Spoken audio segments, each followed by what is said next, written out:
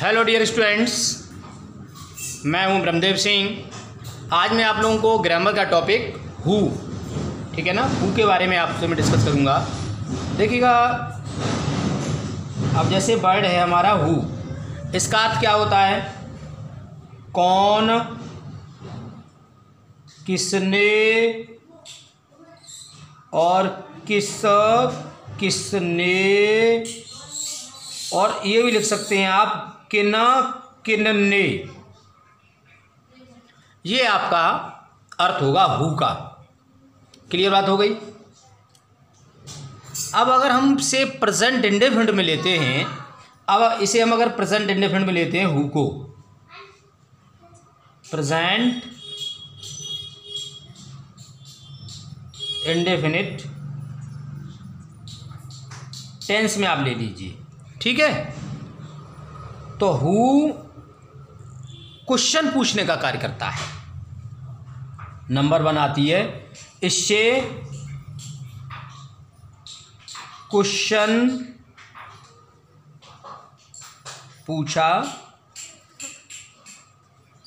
जाता है। Affirmative sense में रहता है। क्वेश्चन तो पूछा पूछा जाता है। लेकिन ये प्रयोग जो होता है, वो अफर्मेटिव सेंस में यूज़ होता है इसका। ठीक है? समझ में आ रहा है ना? ठीक है? और ये उत्तर देगा अगर, कुछ ऐसे क्वेश्चन पूछेंगे आप तो उत्तर जो देगा, उसमें सब्जेक्ट मिलता है। सब्जेक्ट को खोजता है। खोजता आप बात को समझते चलेंगे। हु से क्वेश्चन पूछा जाता है। हु अफर्मेटिव सेंस में प्रयोग होता है। हु सब्जेक्ट को खोजता है। इसलिए आपने देखा होगा, इसके साथ एस और ई एस का नियम लागू होता है। डू या डज इसके साथ नहीं आता है। तो नियम बनता है कि हु के साथ डू या डज का प्रयोग हेल्पिंग वर्ब के रूप में नहीं करते हैं। यहाँ पर आप लिख सकते हैं नोट क्या लिखेंगे? देखिए, मैं बता दे रहा हूँ आपको। क्या लिखेंगे? नोट लिखेंगे। नोट हु के साथ डू डज हेल्पिंग वर्ब के रूप में नहीं होता है।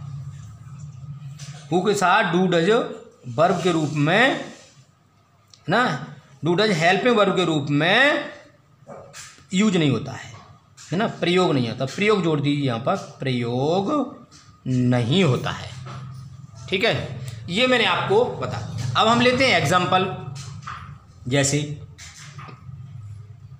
देखिएगा क्वेश्चन पूछा जाता है अफर्मेटिव सेंस में रहता है सब्जेक्ट को खोजता है। तो मैं ये तीनों ही आपको पहले प्रमाणित कर दूँ, ये तीनों चीज़ें कैसे होती हैं। कौन रोता है? कौन रोता है? मैंने आपसे क्वेश्चन पूछ लिया। तो आपने बोला, आप इसको क्वेश्चन कर रहा है तो आप इंग्लिश का बनाएँगे हु बीप्स कौन के अंग्रेज़ी हु हो गई। और बीप, भाई, रोता है, सिंगुलर नंबर है क्या नहीं? रोते हैं तो है नहीं। भाई, ते होते तो बहुवचन का होता। रोता है, एक है तो हु बीप्स, कौन रोता है? तो हु बीप्स। अब देखो, मैंने क्या, ये क्वेश्चन पूछता है, दो क्वेश्चन पूछा जा रहा है। अफर्मेटिव सेंस में रहता है क्वेश्चन पूछने के बावजूद भी अफर्मेटिव रूल लागू होते हैं। तभी तो ऐसा लग गया। ये अब बताया सब्जेक्ट को खोजता है तो आप अच्छा इसका उत्तर दो आप। ये तो क्वेश्चन रहा। इसका आंसर दीजिए आप। आंसर देंगे। न तो आपने कहा, बच्चा। उत्तर क्या दिया आपने? बच्चा रोता है। बच्चा रोता है। द चाइल्ड तो मैंने क्या कहा हु सब्जेक्ट खोजता है? कौन गायब हुआ? अरे हु इसमें से गायब हुआ? किसे दे गया? चाइल्ड को तो ये सब्जेक्ट था यहाँ पर भी, ये भी सब्जेक्ट है। तो इस सब्जेक्ट को खोजता है तो यहाँ लिख सकते हैं आप who is equal to the child तो हु ने किसको खोजा? चाइल्ड को। और और एग्जांपल ले लें।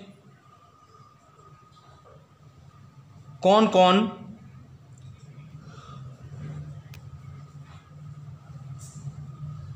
पढ़ता है। तो क्या? हु रीड्स या स्टडीज़ कौन कौन पढ़ता है? हु रीड्स अब तुमने कहा कौन कौन पढ़ता है? एक, दो नाम ले दोगे तो वचन बन जाएगा। एक नाम लोगे, है ना? तो अच्छा कौन कौन हु रीड कौन कौन पढ़ते हैं? ये तो मैंने बोला नहीं है तो इसका मतलब एक का ही नाम लेना है किसी का। पढ़ता शब्द बोला है। तो आपने उत्तर बोला, सोहन, भाई ये क्वेश्चन है कि नहीं? और ये फिर आंसर दे रहा हूँ इसका मैं। तो सोहन,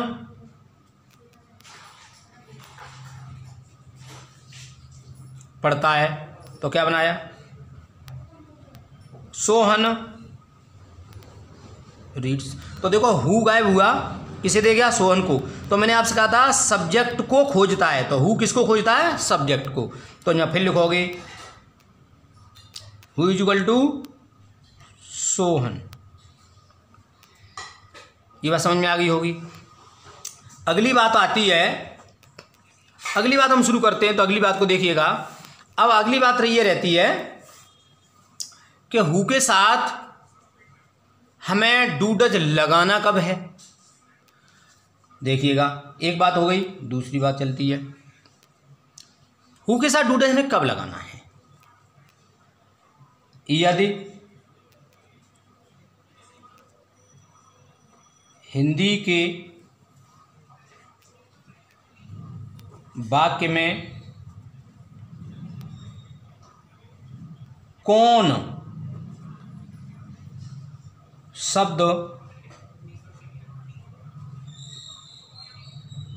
दिया हो? हिंदी के बाद कौन शब्द दिया हो? ठीक है? और उसमें करना। मतलब करना मतलब करते हैं। ठीक है ना? करते हो, करता हूँ, करती है। करते हैं, करते हो, करता हूँ, करती है। है ना? शब्द दिया हो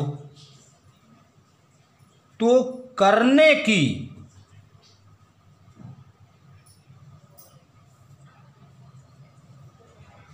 अंग्रेज़ी डू या डज। भाई, डज कोई अपने में वर्ब तो है नहीं ई एस लगा दी तो डज बन गई। पहले तो मुख्य वर्ब तो क्या है? डू। तो डू या डज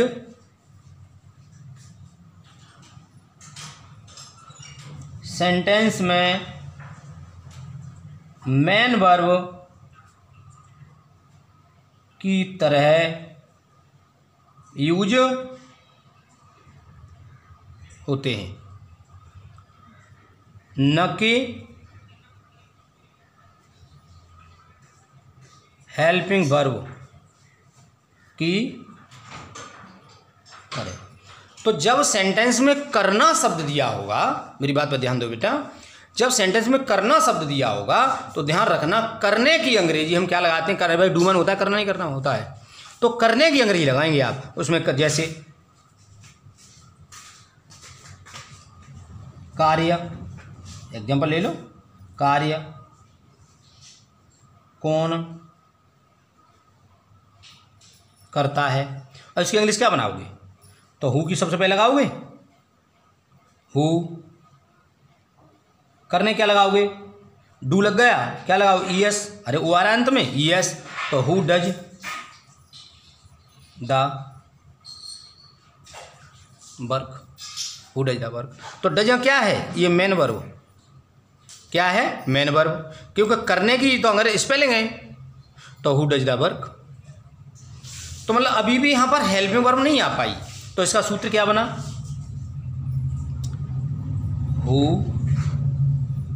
प्लस डू या does plus O W other word. Other word में ऑब्जेक्ट भी हो सकता है, ठीक है? एक और एग्जांपल लीजिए। इस कार्य को कौन करता है। ठीक है, फिर करना शब्द आ गया। ठीक है ना? तो क्या बनाएँगे? हु डज दिस वर्क अब आप देखें कि अब तीसरे, तीसरी बात पहुंचिएगा। अगर यदि कौन शब्द के साथ साथ नहीं, शब्द भी दिया हो। तो डू या डज तो डू या तो डू या does, plus not plus not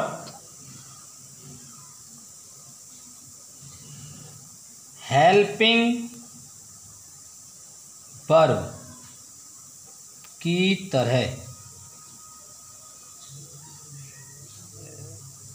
प्रयोग करते हैं। तो डूडे किसके रूप में प्रयोग करेंगे हेल्पिंग वर्ब के रूप में। ठीक है? अब यह मेन वर्ब नहीं है। हेल्प इस तरह से मेन हेल्पिंग वर्ब के रूप में प्रयोग करेंगे। जैसे,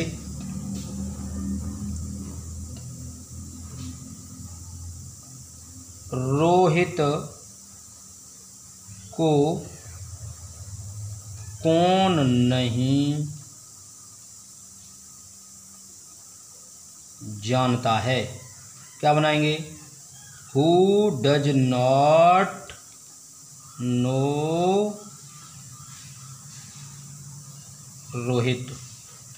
अब इसका फॉर्मूला क्या बना?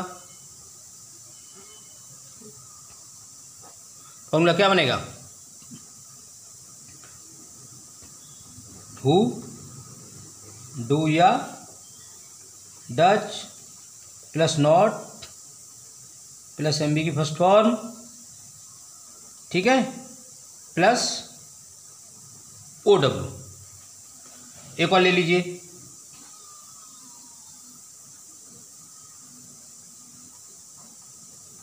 सचिन को कौन नहीं पढ़ाता है? तो क्या? Who does not teach Sachin तो देखो हु सूत्र में देखो आप who does not do not उसका मेन वर्ग की एमबी की फ़र्स्ट फॉर्म और उसके बाद ओ डब्ल्यू ऐसे ही देखो who do not does not ठीक है? एमबी की फ़र्स्ट फॉर्म और ये ओ डब्ल्यू में सचिन तो इस तरह से हमारा हु का प्रयोग हो गया। क्या क्या सीखा हमने? हु का प्रयोग अफर्मेटिव में करते हैं, है ना? जैसे कि अभी आपने देखा हु कैसे कैसे होता है? क्वेश्चन पूछता है अफर्मेटिव सेंस में भी होता है सब्जेक्ट की खोज करता है, जैसे मैंने आपको ये खोज करके अभी बताई थी, ठीक है ना? तो इस तरह से आपकी मैं समझता हूँ, समझ में आ गया होगा। और जब आप एक एक चीज़ को, है ना वीडियो को पॉज कर करके देखेंगे तो मैं समझता हूँ आपकी सब कुछ समझ में आ जाएगा। तो आज के लिए बस इतना ही। Thank you have a nice day